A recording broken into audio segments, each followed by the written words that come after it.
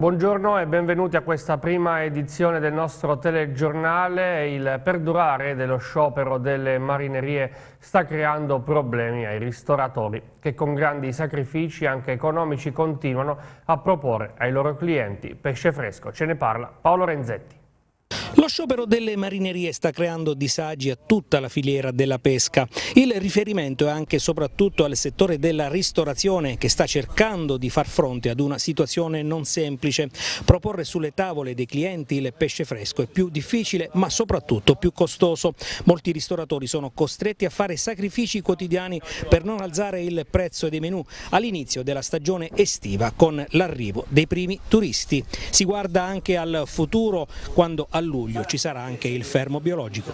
È, è, dura, è dura perché quel poco pesce che si trova è aumentato in maniera esponenziale e noi non possiamo eh, attuare dei rincari eh, allo stesso modo di, di, quando, di, quanto paghiamo di più il pesce. Quindi cercate di mantenere gli stessi prezzi per andare incontro anche alla clientela? Assolutamente, assolutamente sì, la clientela è abituata a pagare quel tipo di prezzo per cui eh, cerchiamo di essere lineari con quello che pagavano prima. L'augurio insomma che comunque eh, questa agitazione possa rientrare e si possa tornare a lavorare con maggiore tranquillità?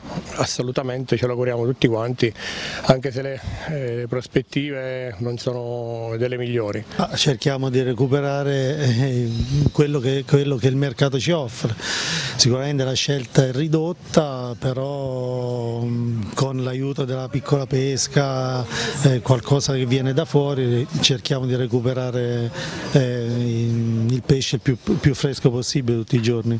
L'obiettivo è anche quello di mantenere i prezzi inalterati sui menù? Ma, eh, il problema è, un, è, un, problema serio perché eh, vanno capiti i pescatori che hanno questo, questo, problema grosso del caro benzina, caro gasolio e, e da un paio di mesi a questa parte che i prezzi obiettivamente sono schizzati alle stelle. C'è un approvvigionamento mh, di importazione di pesci dall'estero, eh, un buon congelato in barca e poi la manipolazione giusta per lavorare questi prodotti. Acquistando del congelato in barca sporco e poi lavorarlo in loco eh, la, la, qualità eh, viene quasi equiparata al pesce fresco. Molte volte un buon congelato è eh, superiore al pesce fresco. Eh, qualcosa viene rallentato, perché anche perché la cultura esterna dell'acquirente non, non riesce a percepire certe cose, se non riesci a sopperire determinati prodotti la, il cliente non se ne accorge nemmeno. Cambiamo argomento, la Corte d'Assise di Chieti ha condannato Guerino Spinelli con la pena dell'ergastolo. Il 32enne di Pescara aveva ucciso a calci e pugni l'amico Marco Cervoni il primo gennaio del 2020 in un appartamento del Ferro di Cavallo. Vediamo colpì a morte l'amico Marco Cervoni con calci, pugni e con un corpo contundente il primo gennaio 2020 in un'abitazione del quartiere Rancitelli di Pescara, dove la vittima era ospite di una coppia.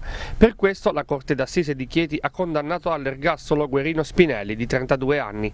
La sentenza è arrivata dopo un'ora di Camera di Consiglio ed ha accolto in pieno la richiesta del PM Anna Benigni che aveva chiesto il carcere a vita. Inoltre Spinelli è stato anche interdetto in perpetuo dai pubblici uffici, dichiarato decaduto dalla potestà genitoriale ed è stato condannato a risarcire in separata sede i danni alle parti civili, genitori e la sorella della vittima. Parti civili alle quali la Corte ha assegnato una provvisionale di 50.000 euro ciascuna, ponendo il pagamento a carico dell'imputato. La ricostruzione. Spinelli, secondo l'accusa, quella mattina era infuriato perché Cervoni non aveva risposto alle sue telefonate. Di qui l'aggravante dei futili motivi e in base ai risultati dell'autopsia l'autopsia il 35enne ricevette numerosi colpi alla testa, determinanti le intercettazioni che la procura stava svolgendo per un'altra vicenda, oltre alle dichiarazioni di testimoni che hanno rotto il muro di omertà. Per la difesa questo è il caso di un omicidio senza movente. Se non c'è il movente, come fanno a sussistere le circostanze aggravanti? Ha commentato l'avvocato Melania Navelli. Non è emersa alcuna prova, quella applicata a Guerino Spinelli è una pena inadeguata e sproporzionata per come è andato il processo, non è emerso la prova di nulla nulla. Nessuna somma potrà risarcire il danno sofferto dai genitori e dalla sorella. Il commento invece dell'avvocato delle parti civili Salvatore Mezzanotte. Però riteniamo che questo è il primo passo per ricostruire un equilibrio quantomeno di carattere familiare, anche in linea con quello che è l'ordinamento giuridico.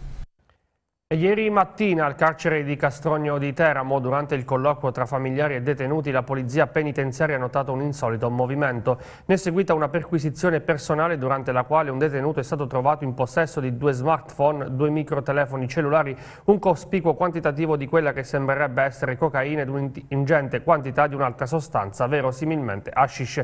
Subito dopo è stata effettuata una perquisizione sull'auto del familiare padre del detenuto ed anche nell'abitazione dello stesso, dove è stato rinvenuto un bilancino di precisione.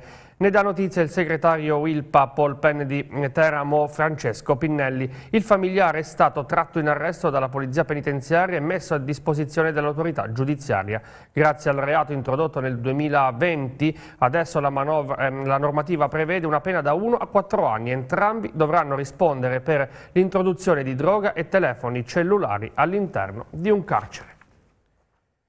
Cambiamo pagina, il 12 giugno i cittadini di L'Aquila sono chiamati a rinnovare il Consiglio Comunale. Tra i quattro candidati c'è anche il sindaco uscente Pierluigi Biondi, l'esponente del centrodestra, tra i vari temi del suo programma elettorale punta molto sul lavoro come volano per evitare lo spopolamento. Vediamo che è riuscito a portare il centrodestra unito alle prossime elezioni. Le sfide, eh, lei le sa bene, sicuramente sono quelle di eh, completare, cercare di completare il più possibile la ricostruzione fan, fan, facendolo soprattutto con i fondi del PNRR. Sì, in realtà abbiamo più canali di finanziamento, fortunatamente grazie a una nostra battaglia due anni fa abbiamo ottenuto ulteriori 2 miliardi e 8 per completare la ricostruzione privata e pubblica, abbiamo vinto bandi importanti del PNRR, abbiamo programmato le risorse del fondo complementare, ad oggi siamo a circa 180 milioni di euro di opere che si faranno in questa città direttamente da noi o attraverso delle stazioni eh, appaltanti, eh, naturalmente è un percorso lungo che richiede del tempo, se poi si aggiungono i due anni di pandemia che comunque hanno congelato le attività, però io sono molto fiducioso che diciamo, nel prossimo quinquennio saluteremo definitivamente la rinascita della città. L'Aquila è il capoluogo di provincia abruzzese che perde meno abitanti rispetto agli altri, c'è un tema generale di cosiddetto inverno demografico, nascono pochi bambini, anche gli immigrati eh, si adeguano ai ritmi di vita del nostro e quindi fanno anche loro pochi figli, però nonostante ciò l'Aquila perde meno degli altri, ecco, se dovessimo vedere il bicchiere mezzo pieno. Quanto è fondamentale avere più posti di lavoro per far sì che comunque resti una città capoluogo, questa vivibile? Beh, questo è fondamentale, la base di tutto, senza lavoro non, non, non vivono le, le comunità, è per questo che abbiamo fatto battaglie importanti contro il precariato e abbiamo dato prova per esempio nella stabilizzazione di oltre 100 persone dentro il comune dell'Aquila, abbiamo fatto battaglie per il risanamento delle nostre partecipate, abbiamo fatto battaglie su eh, temi importanti come quello dell'internalizzazione del call center che lavorano per conto di INPS, facciamo battaglie ovunque ce ne sia bisogno. Ci sono dei dati positivi certamente, faccio l'esempio del Tecnopolo da 500 a 1800 addetti, ci sono tante nuove aziende che si insediano nella città dell'Aquila, naturalmente questo non è sufficiente, bisogna continuare sulla strada degli investimenti, cosa che faremo con il fondo complementare, con la misura B e con le altre risorse destinate destinate al Comune dell'Aquila specificatamente o alla Regione Abruzzo attraverso la programmazione FESR. Il consigliere regionale Marco Cipolletti denuncia ritardi insopportabili all'ASL di Teramo per i cittadini che richiedono una visita di controllo per nei sospetti o altre lesioni della cute. Secondo Cipolletti per una dermoscopia bisognerebbe attendere fino a gennaio 2024. La ASL smentisce categoricamente affermando che le prime disponibilità sono addirittura a pochissimi giorni. Tania Bonnici Castelli. Accuse pesanti da parte del consigliere regionale Marco Cipolletti e del medico di medicina generale Siriano Cordoni sulle liste d'attesa all'ASL di Teramo e in particolare per la mappatura dei NEI. Si tratta quest'ultima dell'epiluminescenza, un esame che permette di valutare le lesioni della cute. Il consigliere Cipolletti ha sostenuto che una prenotazione di tale esame diagnostico, da effettuarsi entro 10 giorni come da prescrizione, avrebbe trovato una disponibilità solo nel gennaio 2020 2024. L'ASL di Teramo precisa invece che dopo una consultazione della piattaforma di prenotazione la prima disponibilità di una dermatoscopia è per il 3 giugno prossimo all'UCCP di Villarosa, il 28 settembre 2022 all'Ospizio Marino di Giulianova, il 3 ottobre nel distretto di Roseto. Il cittadino, spiega il direttore sanitario Maurizio Brucchi, con le giuste indicazioni avrebbe potuto soddisfare la sua esigenza di valutazione di un neo nei tempi giusti. Infatti tale prestazione secondo l'ASL, non godendo di criteri di priorità, può essere erogata entro 120 giorni come prevede la norma. Il problema delle liste di attesa esiste, commenta e riconosce il direttore generale Maurizio Di Giosia. Non a caso a marzo l'ASL di Teramo ha varato un apposito piano di recupero che sta dando buoni frutti. L'azienda sta valutando anche misure straordinarie, fra le quali la limitazione dell'attività in libera professione negli ambiti in cui non si rispettano i parametri inoltre proporrà nella stesura del prossimo accordo integrativo con i medici di medicina generale dei livelli sanzionatori per le reiterate prescrizioni inappropriate, così come attuato in altre regioni. L'amministrazione comunale di Francavilla al Mare ha presentato la giornata della salute che avrà luogo il 4 giugno in piazza Sant'Alfonso e darà la possibilità di eseguire controlli e visite mediche con più di 15 medici specialisti. Vediamo. Francavilla ha aderito con grande piacere a questa iniziativa promossa dall'associazione Nuova Sterope che voglio ringraziare, l'associazione commercianti Francavilla che spende tanta energia proprio anche sul nostro territorio e dall'organizzazione no profit Kivanis con il patrocinio del comune di Francavilla, dell'ASL, della provincia di Chieti, è una splendida iniziativa perché è finalizzata a promuovere l'importanza della prevenzione della salute. Ci saranno numerosi specialisti, medici ospedalieri che metteranno a disposizione le proprie competenze per eh, screening in materia di dermatologia, ginecologia, mm, diabetologia, dietologia, endocrinologia e così via. Sono tantissime specializzazioni, invito davvero tutti a partecipare perché è un momento importante in cui con un costo simbolico perché il prezzo per la visita è di 10 euro per gli adulti e 5 per i bambini si può veramente eh, fare tanto perché prevenire è sicuramente meglio che curare e dopo questi anni di pandemia in cui veramente la prevenzione è stata trascurata è importante tornare a parlarne e a eh, occuparsi di prevenzione. Anche dopo il Covid noi abbiamo riscoperto l'importanza del bene salute, per cui un bene sociale, un bene individuale e chiaramente come istituzione ASL siamo ben lieti di aver dato il patrocinio a un'iniziativa che coinvolge coinvolge tutta la città di Francavilla insieme al comune e il volontariato. Un'iniziativa importante che arriva dopo due anni di pandemia dove purtroppo molti hanno trascurato la prevenzione, quindi più che mai ora è importante farsi visitare e curarsi. Eh, sì, noi abbiamo visto su tanti temi, specialmente anche sugli screening oncologici, un calo perché le persone anche invitate non si sono presentati.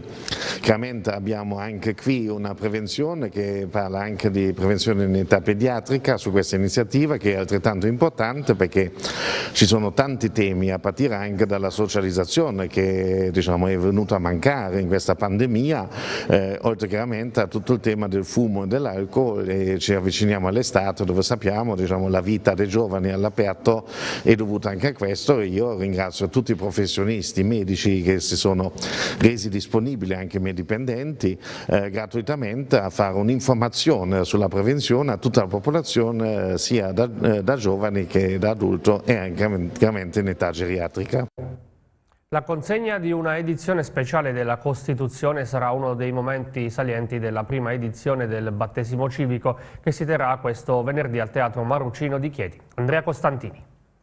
Il report Istat 2020 rende manifesta la distanza tra la politica e i giovani, uno scollamento che riguarda il 30% della fascia di età tra i 18 e i 34 anni e che sale al 50% nella fascia 14-18 anni. L'iniziativa del Comune di Chieti, proposta dalla consigliera Barbara Di Roberto, la cui mozione è stata approvata all'unanimità dall'intero Consiglio Comunale, vuole essere un tassello che prova a invertire quel trend. Così, venerdì 3 giugno, all'indomani della festa della Repubblica, molti neo-diciottenni della città di Chieti riceveranno il cosiddetto battesimo civico in un'apposita manifestazione al Teatro Marrucino. Lo scopo è quello di riavvicinare i giovani alle istituzioni, alla politica e a quei processi decisionali che devono vederli protagonisti. All'evento parteciperanno anche parlamentari, il prefetto e l'arcivescovo di Chietivasto, Monsignor Bruno Forte. Una giornata che avrà un momento particolarmente significativo. Noi tutti consegneremo copia eh, della Costituzione ai giovani. Questa copia che noi andremo a um, consegnare loro. È un'edizione speciale ehm, della, um, edita dalla Giuffre Francile Fevre ehm, grazie a una collaborazione e una sinergia istituita con loro ed è un'edizione speciale per ragazzi curata dal professor Enzo Di Salvatore che è un costituzionalista, un professore ordinario dell'Università di Teramo e questa è una, una copia della Costituzione devo dire specifica specifica per i giovani ma anche innovativa rispetto alle copie che generalmente vengono consegnate perché ad esempio è um, aggiornata all'introduzione dell'articolo 9 quindi sulla tutela dell'ambiente. È la prima edizione del battesimo civico destinata ad avere un futuro. Già dall'anno prossimo um, con l'accordo delle presidi um, degli istituti superiori svilupperemo un progetto, un programma più ampio ampio all'interno di tutte le scuole. È giunto alla terza edizione l'evento, la scuola va in scena, performance itinerante di musica, arte, danza, teatro, poesia e fotografia e letteratura che si svolgerà con Le Corvino e Picciano dal 3 al 5 giugno prossimi. Vediamo. Eh, parliamo oggi del 3, 4 e 5 giugno, durante il quale si terrà la terza edizione della performance itinerante di musica, arte, cinema, fotografia e poesia, eh, durante quindi il quale tutti i ragazzi dell'Istituto Comprensivo di Cole Corvino e i ragazzi delle scuole che fanno parte della rete Le Trame dell'Arte, di cui noi siamo scuola capofila, eh, presenteranno le loro attività, frutto quindi di una progettualità.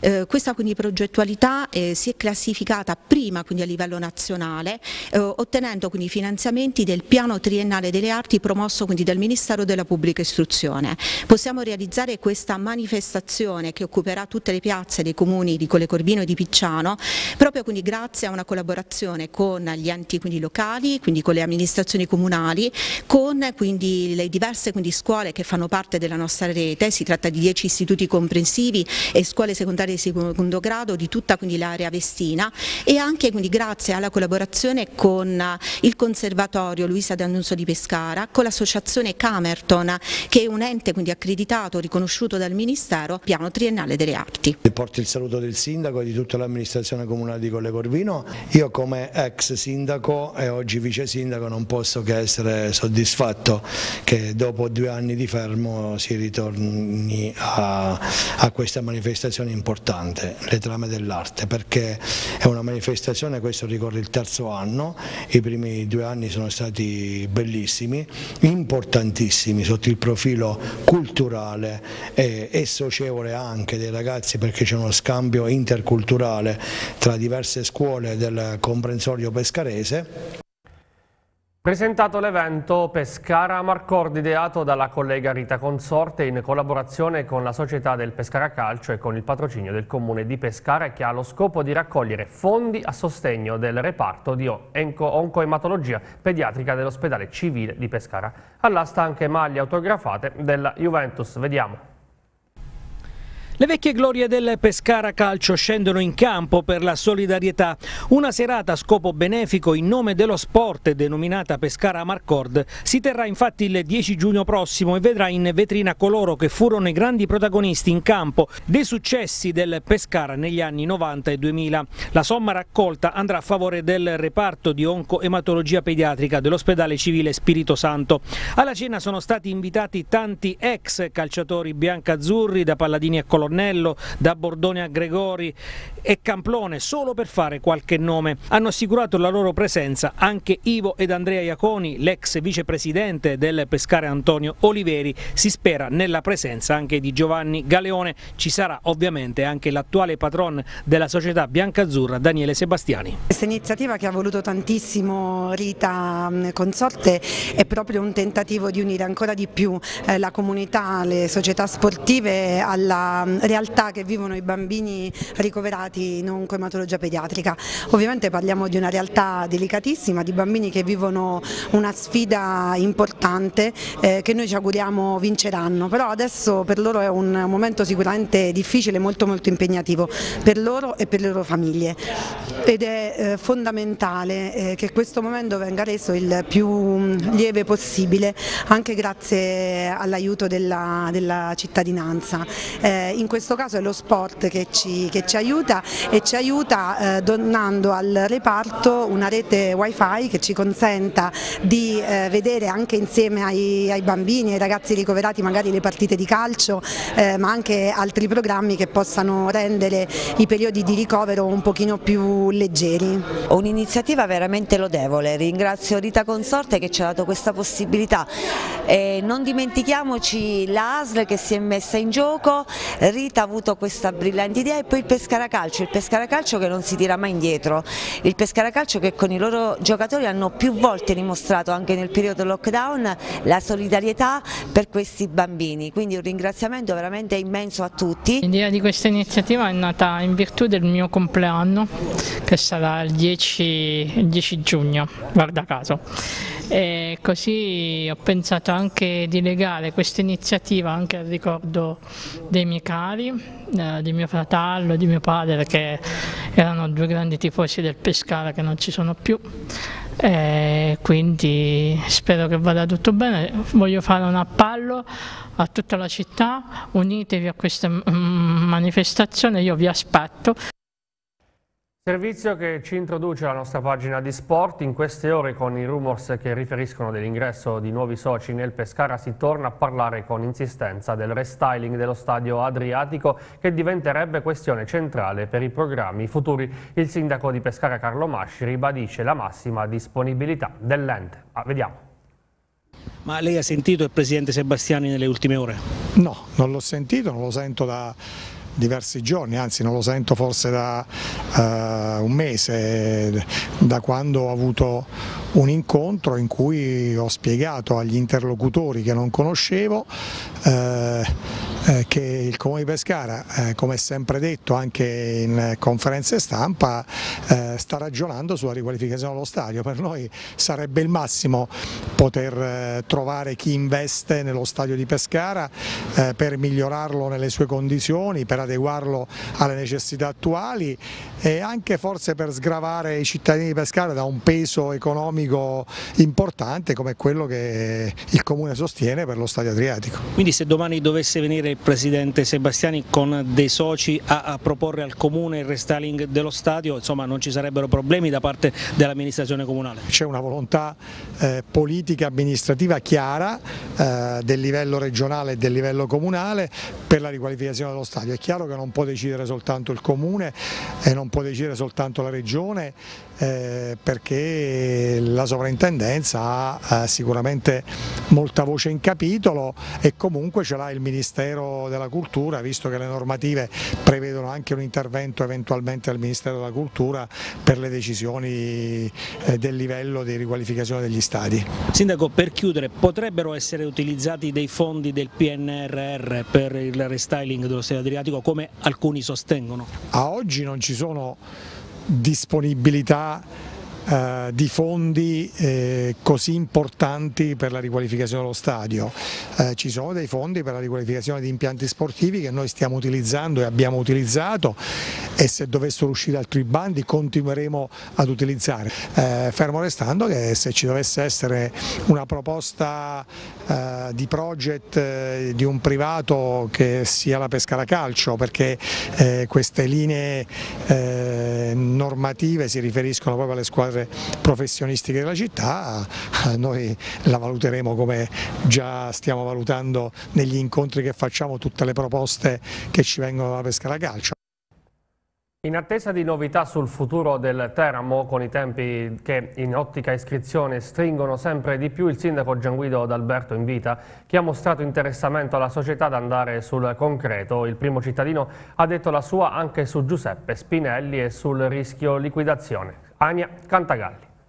La speranza che poi è legata al lavoro che si sta facendo di arrivare all'iscrizione è sempre insomma, viva perché deve essere, deve essere questo l'obiettivo, tutte le energie sono concentrate per il raggiungimento di questo risultato, è chiaro che poi eh, l'ottimismo è un po' eh, inversamente proporzionale al tempo che, che, scorre, che avanza perché ovviamente ci sono delle tempistiche stringenti, c'è la consapevolezza del fatto che l'amministrazione giudiziaria sta comunque lavorando, insomma, ha sempre dimostrato disponibilità, sensibilità, sta ascoltando eh, chiunque abbia manifesti un, un interesse, una, una, volontà appunto di ehm, verificare le condizioni per eh, entrare o attraverso una sponsorizzazione o attraverso l'acquisto delle, delle, quote. È la settimana decisiva, in realtà lo ripetiamo già da, da diverse settimane quasi come un, un mantra, quasi come un invito assolutamente affinché chi abbia concretamente interesse eh, faccia delle proposte strutturate perché siamo ormai nel momento in cui occorre chiudere. È stato sorpreso di vedere Spinelli rilevare la pista Artena e creare una nuova società di Serie D? No, sorpreso no, perché non, non, avevo chissà quali aspettative, nel senso che c'era stata questa, anche da quello che, che, ho, che, ho, letto e ascoltato anche da parte del nel rapporto con l'amministrazione giudiziaria, questa, questo interesse che però insomma, è ancora un interesse eh, generico, una sorta di, di, di verifica eh, diciamo così, preliminare che non è eh, evidentemente arrivata a compimento. Se dovesse andare male lunedì teme che il terreno possa essere messo in liquidazione? Ma non, non ci vogliamo assolutamente pensare, quindi viviamo, non dico la giornata, però quotidianamente con un obiettivo unico, cioè quello di individuare la soluzione della strada per l'iscrizione al prossimo campionato. Un pensiero ovviamente ai tifosi che ovviamente vivono eh, come noi in questo momento eh, una situazione di grande preoccupazione, di grande apprensione, purtroppo c'è questo contrasto no? tra il sentimento forte eh, portato dal tifo, dal legame eh, con la nostra squadra, la preoccupazione per il futuro, con una situazione che evidentemente è segretata e protetta con numeri, dati che devono essere ovviamente preservati per poter arrivare prima possibile al risultato positivo perché ogni diciamo così, uscita un po' fuori dal, dagli schemi o propagandistici oppure eccessivamente illusoria o altro può essere inefficace o peggio addirittura controproducente. Con la cerimonia di oggi alle ore 18 riaprirà al pubblico il Circolo Tennis di Silvi. La struttura di proprietà dell'amministrazione comunale che versava in uno stato di semi-abbandono è stata totalmente rimessa a nuovo. La SD Circolo Tennis Silvi, presieduto dal maestro Silvestro Di Berardino, la gestirà per tutta la stagione estiva. I due campi garantiranno l'attività ludico-sportiva, lo svolgimento di tornei agonistici e amatoriali, una serie di corsi per principianti e per livello tecnico avanzato. Di particolare interesse le azioni promosse in ambito sociale con un corso gratuito per i bambini e il campo estivo che si svolgerà in collaborazione con il CONI e la Federazione Italiana Tennis. Una buona notizia per i tanti appassionati ma anche per i turisti e amanti dello sport che ritroveranno dopo anni un impianto efficiente con servizi adeguati e una struttura organizzativa con alti standard qualificativi. Si chiude qui eh, il nostro telegiornale, tutti i servizi che avete visti sono disponibili al nostro canale YouTube sul sito www.tv6.it. Intanto vi ricordo l'appuntamento di questa sera alle ore 21 con Pallavole, invece eh, l'informazione torna alle ore 19. Grazie per averci scelto.